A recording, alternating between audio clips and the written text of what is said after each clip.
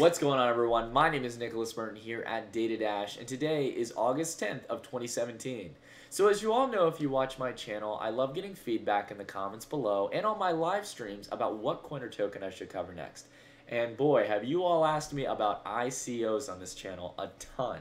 That being said though, you probably know by now that I'm usually very skeptical about ICOs. I think that a lot of them, around 80 to 90%, are uh, not uh, coins or tokens that I touch with a 10 foot pole. And the biggest reasons being that a lot of them are overvalued at the start, a lot of them uh, overpromise on what they can truly deliver, and mainly a lot of them don't have the tech, the team, or the actual target market to really become the next Ethereum, the next Bitcoin, etc. That being said, there are a few coins, even in this kind of new shady market of ICOs that has just started to touch the cryptocurrency sphere, that really do give me a sense of optimism in their ambitions and their team and technology. And the coin I'm talking about today is no exception, folks. It is the Substratum Network. So, what is Substratum? What is it aiming to achieve? Is the team and the tech there? And what are their ambitions for the long term? I'm only I'm not only going to be going over all of that, but I also want to let you all know that uh, I, I have so much confidence behind this coin that I wanted to make sure to go a little bit further in depth. And as the team reached out to me to cover this coin, I really wanted to ask them and see if we could do a live stream with one of the developers.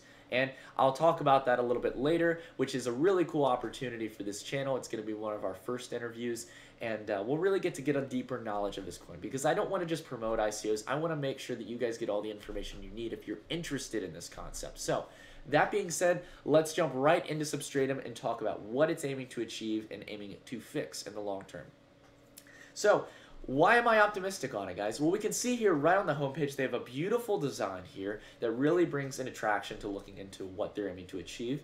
And I can see that right off the bat, they're trying to be the foundation of the decentralized web. So that sounds like a bold, kind of a brash statement to make. What does it really mean? You know, and you can get a better description from the quote under it, which talks about being an open source network for web hosting across the decentralized blockchain. Now, what does that mean and what is web hosting in general? Well i think that a lot of people don't really understand how the internet works even though we use it on a daily basis we don't understand what's happening behind the scenes. Though i'm not going to go into extensive detail and if you'd like to get that extensive detail Feel free to watch this video by Bluehost, which is a web hoster, and I'm going to kind of rail on later on. However, they do a great job here of demonstrating how web hosting works and what really goes on when you go and visit any website. But I'm going to talk more on a philosophical sense before we dive into what Substratum is trying to do. In the world of web hosting, uh, we, we realize once we look at it in a very uh, philosophical and technical sense that it's very centralized okay? Whereas we think the, the web is this beautiful place that's very decentralized, it's really not. Um, any website that we go to, whether it be maybe your personal website or a small business's website, or any kind of maybe social media that you might use or entertainment a lot of it all pretty much all of it has to come from a web host. It's a fact.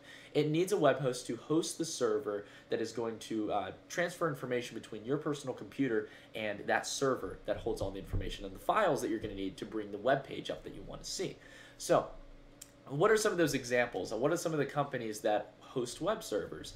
Um, well, I can give you a few right off the bat. We just looked at one. Bluehost is a perfect example. We have GoDaddy. We have Amazon Web Services, etc. There's dozens out there. However, those dozens are becoming a lot more powerful and a lot more uh, conglomerized, meaning they're becoming mo much more monopolistic in the long term of web hosting, and it's becoming very centralized and enclosed.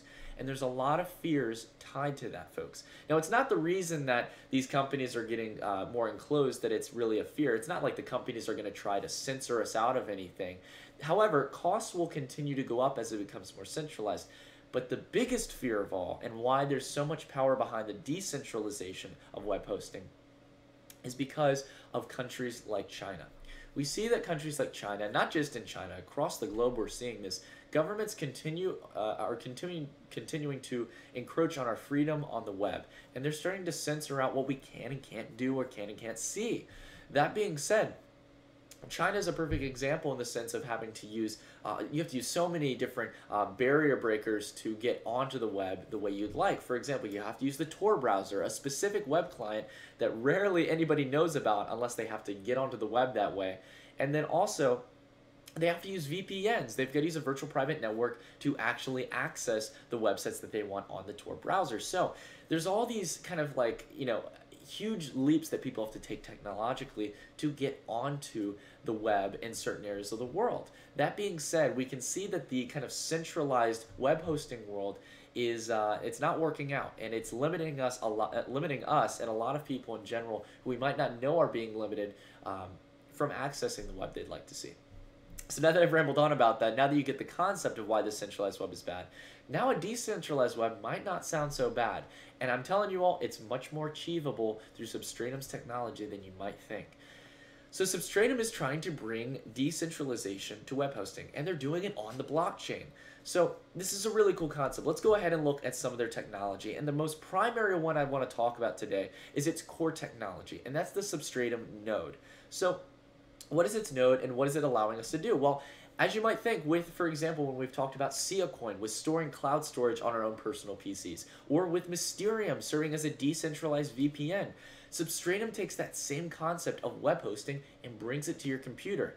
If you go watch how websites work, the video that I linked in the description or that came from Bluehost, uh, you'll hear in the video that um, that all the servers and those you've probably seen the pictures before in your mind instantly where there's just thousands of rows of big servers that are hosting uh, websites your computer, though it may look completely different, is no different really. It has all the function and components to host a website. It just needs the technical application of it, which is what Substratum is aiming to achieve. So you can go out and actually host websites. And this is the coolest thing, guys, I think I've seen in a long time in the ICO market. They already have concept pictures of how the technology would work and how it would look and how you can um, measure and host different websites. And they also have ways to measure how uh, they can make it efficient by using artificial intelligence and business intelligence rules. They can make it so we can bounce and host webs uh, websites uh, off of our own personal computers and gain uh, su um, substratum or sub coins uh, for our own selves uh, to build cash flow. And this is really powerful, guys. I think this is really cool. And if they can deliver on this on the tech side, this is this is a revolution and um, web hosting in general. And I think it's going to give uh, the centralized web hosters a run for their money and really give an opportunity for people in China who don't want to learn about VPNs, who don't want to learn about using Tor, to actually go about using this decentralized network of web hosting. That's the coolest thing about it, guys. If you go and read through the white paper, like I have, I've read completely through it at least two to three times because I was so interested in it and I picked it up very quickly. Within the white paper, they state you don't need a Tor browser. You don't even need a VPN.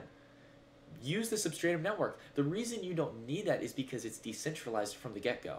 The web hosting is on this decentralized network that no government can censor, and it can't go to whatever IP that uh, website is being hosted at. It can't just go to Amazon's uh, headquarters and say, no, stop hosting that website it's on this decentralized network and the network is constantly changing where that website's going to be hosted from to meet the best user experience it's absolutely phenomenal. It is an absolute game changer in my mind if it can deliver so what's cool is like I was saying too, you can uh, really, as it says, make money while you sleep. You can build residual income through subcoins uh, by hosting people's websites while you go to sleep. Uh, now it does a little bit during the day uh, on the standard default settings. However, when it kicks off, you can set the schedule when you have on have your off hours when you're going to bed and stuff. Start racking in that income. You can start activating it on your computer at late night hours and really seeing the benefit of generating sub tokens and hosting websites for people. So. Folks, I'm ambitious on this. I think it's great. Now, that being said, even with the technology, there's a few other parts to it. For example, the next thing they have in their phase is CryptoPay. Uh, and this is a platform that you'll be able to use to exchange cryptocurrency um, and payment systems on the Substratum network later on in the future. And this is a little bit later in the pipeline as we go down through their website. They've got a timeline, and we're going to look at the team in just a sec. But they've got a good timeline here. They've got the uh, ICO token sale starting here in October. They're going to be on the exchange of Bittrex and Bitfinex in September. Good news. A lot of coins struggle to get on those exchanges right away. However, they've got a promising concept, and I can see why they're on there uh, in September. We have the first actual tech drop in later, uh, late 2017 for the version 1 of the Substratum network, and then version 2 will be launched in early 2018. So, they've got some pretty soon de uh, deadlines to actually deliver this tech. And it seems like through the visual images that we've seen in the concept photos, they're ready to deploy this. They're just continuing to work on it and make it work as efficient as possible. So that being said, That's all great, but is the team there? That's the question, guys. And I've been looking through the team a little bit and getting a, a little bit of knowledge from the team. And I gotta say, the two people I really looked at were the uh, the first two people, the solutions architect and the lead software developer. As you all know, I try to get deep uh, deep and dive into the actual individuals of these teams. And I gotta say, I'm very impressed with what I've seen. For example, Justin Tabb, who is the solutions architect, was a previous entrepreneur himself. Uh, he was a managing partner at Override Pro. And if you go through, you can see that they've done work with companies like Apple, Disney, Kodak, Hewlett and Packard, etc. He's a very skilled individual, I think, in my opinion, to be working on a project like this and be bringing decentralization to the web. We can also see Abram uh, uh, Cookson, or sorry if I mispronounced your name, but uh, he's got a, a very nice record behind him working as a dev manager at Cardinal Health. Cardinal Health. Now, if you don't know Cardinal Health, I knew the name instantly when I saw it on LinkedIn because it is a multi-billion dollar healthcare solutions company. Very, very big to be working as a dev manager there. Uh, and he seems to be currently working there as well. So that's really awesome on Abram's part. So they've got a great team here. You can look more in depth into it. They've got everybody laid out on the team. Uh, and I think they've got a decent team to really deliver on this project. So that being said, I hope they continue to expand their team. I hope they continue to get bigger and build and make sure that they've got enough software developers to really deliver on this and make it a user-friendly experience.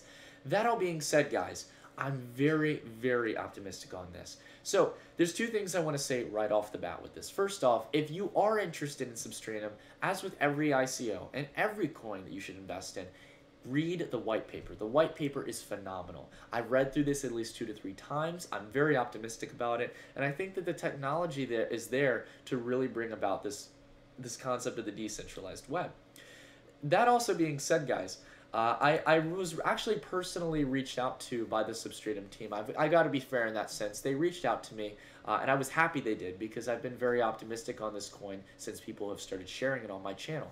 They reached out to me, and I asked them if we could do a personal one-on-one interview. So that being said, before you guys maybe might not feel confident in investing in this corner token and you really want to get some questions answered, I want those questions to be answered. So I made sure to talk with one of their marketers and I talked uh, about meeting with Justin Tabb and we're going to be doing a actual Skype call that I'm going to record and post on the channel answering your guys' biggest questions on this ambitious project.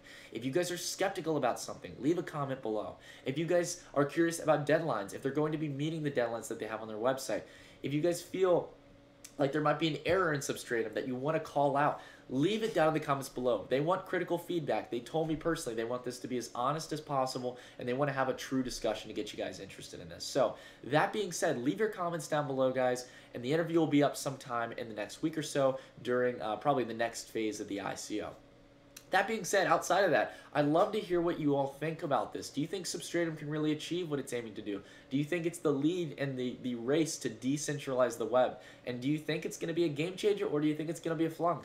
I'd love to hear what you think, everyone. So if you could, leave comments down below. But until then, I will see you all in the next video. Stay tuned.